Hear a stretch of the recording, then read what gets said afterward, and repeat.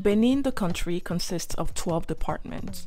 In choosing areas I wanted to travel to for my Back to Basics series, I knew the Alibori department had to be one of them. The Alibori is located northeast and is bordered by Nigeria, Burkina Faso, and Niger. Its capital is Kandi, and in this episode, I'm taking you through the city of Kandi to share with you a little bit of what it is known for, as well as introduce you to the street foods I tried during my stay.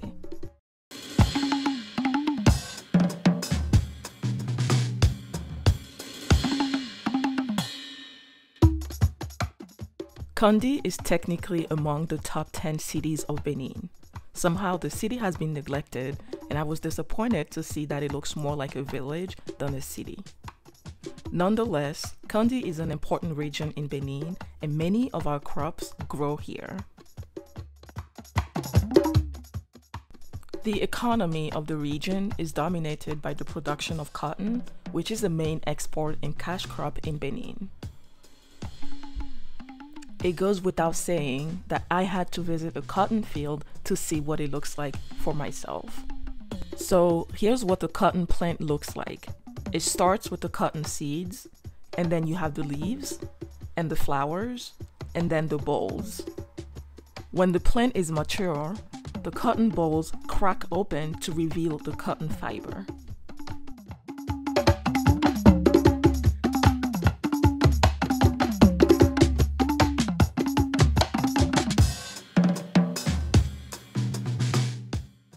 The cotton seeds are also used to make cotton seed oil, which is used in cooking but also as a remedy for certain skin conditions.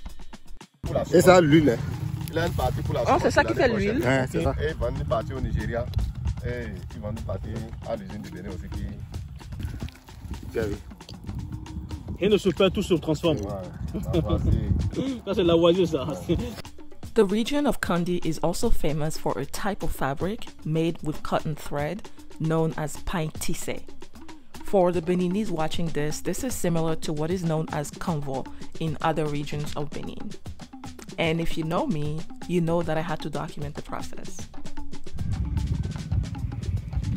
Donc c'est c'est les deux matériels là qui essaient de With Burkina Faso being so close to the border, I asked her if this fabric was similar to the fabric made in Burkina Faso.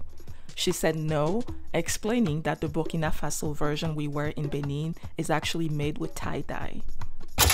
Non, c'est c'est bon, c'est ça, mais ce n'est pas les mêmes. Pour les Burkina, là, c'est teinté, quoi. Et là, on met peinté. Ah, qui Qui teinté. on cherche la couleur. On qui teinté, il Ça là c'est la couleur, c'est la couleur directe des fils. D'accord. Ok. Okay. Donc là ça ne va pas se décolorer. D'accord. When she's done, this is what the final product looks like. It is worn by locals on special occasions. Now, let's talk about the street foods that I enjoyed during my stay.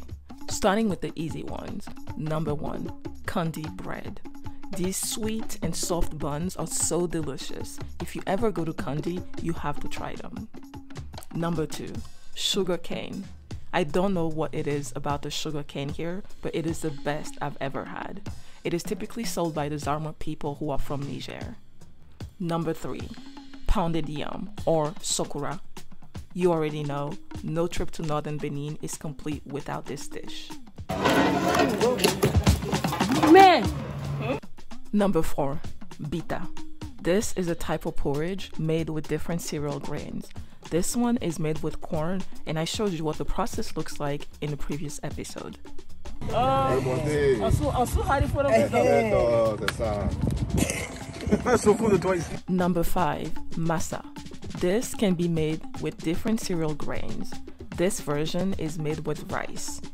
Think of massa as mini pancakes made with rice batter.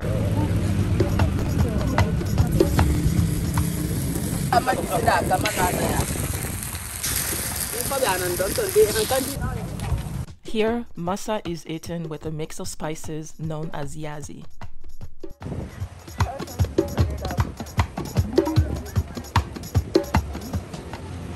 Number six, fura. If you recall, in my last episode, I talked about umu and showed you how she makes these mini millet dough balls known as fura. Traditionally here, the fura balls are mashed into fermented cow milk. In the version that I tried, instead of just the fermented cow milk, I also asked for powdered milk, which was an option that she offered.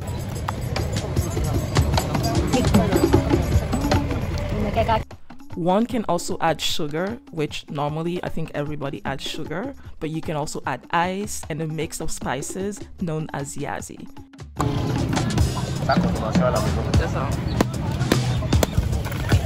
That's all. Comment Est-ce que vous voulez le piment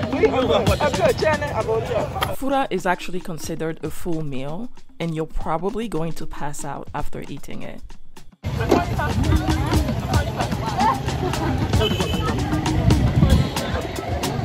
On y va. Number seven, guinea fowl. Guinea fowl is sold in almost every street corner at night in Kandi. We ate this every single night, and if you're into meat, I highly recommend trying it when you come here. That's it for this episode. Let me know in the comment section which one of these street food you're interested in trying. I'm not sure what next episode will be about just yet, but I'm thinking about going back down to southern Benin. We'll see. Thanks for watching, and I hope to see you in the next one.